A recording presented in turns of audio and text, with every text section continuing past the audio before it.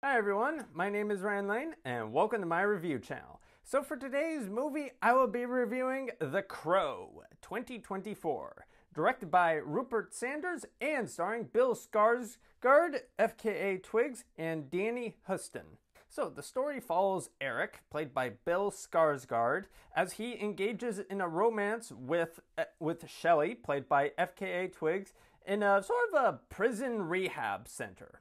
Finding their conditions to be ultra dreary and ultra depressing, they decide to uh, make a break for it and they engage in a romance with each other. Uh, this is all going good uh, until they are both viciously murdered by a pair, by a group of criminal thugs led by a demon crime lord by the name of Vincent Roeg, played by Danny Huston.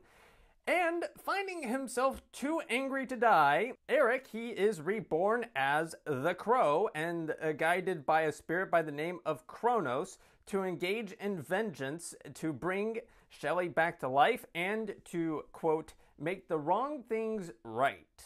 So, first, let's talk about the good news for the movie. The good news is, like, this film is an actual proper remake. This isn't like, you know, other remakes where they just, like, rehash the movie once again, just beat by beat and dialogue by dialogue. King 2019. anyway, yeah, this film actually has some new ideas to explore. It fleshes out the romance between Eric and Shelley. It uh, features a demon lord uh, enemy. Like this time around, Eric's he's not the only supernatural element of the story. There's a spirit guide to help named Kronos who helps guide Eric in achieving his vengeance. And the film tries to explore the idea of the characters and their demons. The bad news is the film doesn't do a very good job of any of this.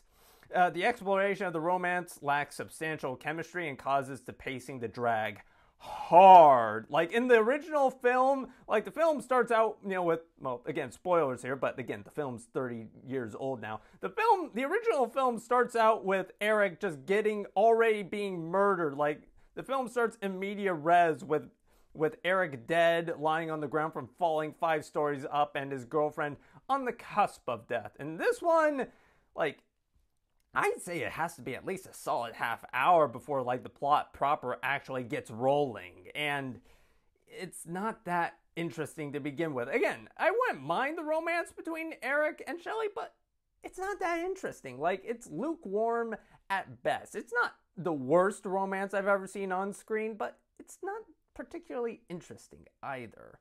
Uh, the, also, the main villain, Vincent, yeah, he is, like, for being an immortal criminal dr- lord, he is super boring. Well, maybe not, just, I don't know, just dull. Like, he doesn't really do much interesting. Like, the most interesting thing about him is how he convinces people to do bad things by whispering some sort of demon chant in their ears. Like, that's it. Like, th- there's not much interesting to this character.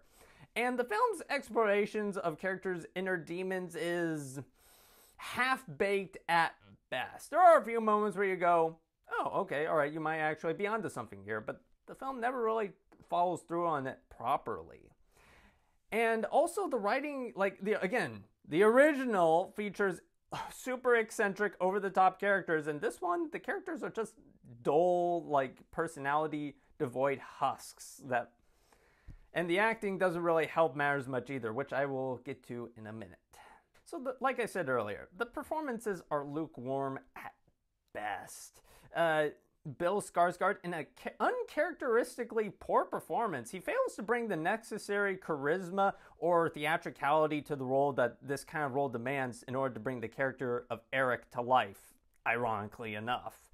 Uh, he does no favors to the character with his surprisingly flat delivery. Like there are certain moments where I was like, um, okay, you needed to be like super serious and you acted like you were at a frustrated dude at the DMV. Like a little bit more passion here, will ya? It's and then there's Danny Huston. Again, he's playing a demon crime lord, like how, an immortal one at that. How are you this boring? Like Danny Huston's low energy delivery does not help anything at all. It's I get what he was trying to go for, more subdued, but there's barely any personality to the character. Also, FKA Twigs, she's eh, fine as Shelley, but she's not that particularly interesting either. Like This film was clearly trying to flesh out her character more, make her, you know, try to avoid fridging her a la the original, but they didn't flesh her out, character out that much. I was kind of just sitting there waiting. It's like, okay, when's the crow going to like die and then get that cool ass, you know, face paint stuff? It's like that's kind of what the romance just left me wanting. And even then, it, when it finally does get to that, it's not that interesting. The one kind of saving grace for this movie are the action scenes. And even then, it's not that huge of a saving grace. There are a few decent moments of pitch black humor to be had during the action, but not enough to keep the film from being an overly serious slog. And the action scenes, they're fine enough. They're decently choreographed enough. They're decently shot enough, but they're not nearly as fun or exciting as the original. I mean, okay, maybe for a film like this, fun isn't the proper goal, but at least engaging, and this film wasn't that engaging. It's not until like the very end of the movie there's a shootout in opera building, and it is awesome. Like the film finally embraces its campy roots and just goes all out with the pitch black humor and the gore and the choreography. Like during this sequence, the film is firing on all cylinders, and if the film was like this in its entirety, I'd be having a very different conversation about this movie right now. So, though it's not without creative vision, uh, the remake of The Crow lacks the high wattage performances and energy of the original film. So, with all that in mind, I will be giving The Crow 2024 two and a half out of five stars. Anyway, thank you for watching. Have a good rest of your day.